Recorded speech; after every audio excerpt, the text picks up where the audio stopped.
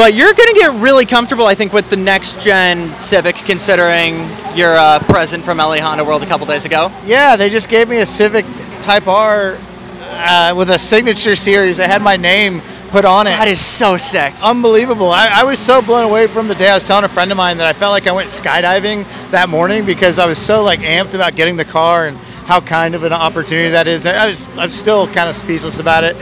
But uh, yeah, so I drove that up here from from from LA. That is awesome. What was it like? Kick ass. Hell yeah. It was funny. A, a guy on a motorcycle was like kind of waving at me as he was driving by me, and it was like he was like kind of pointing, and I thought, oh no, am I not leaving a room or something? And I realized he was pointing like, nice. Is that that guy from Dinner with Racers? He's like, is that Sean Heckman? Is that Sean Heckman?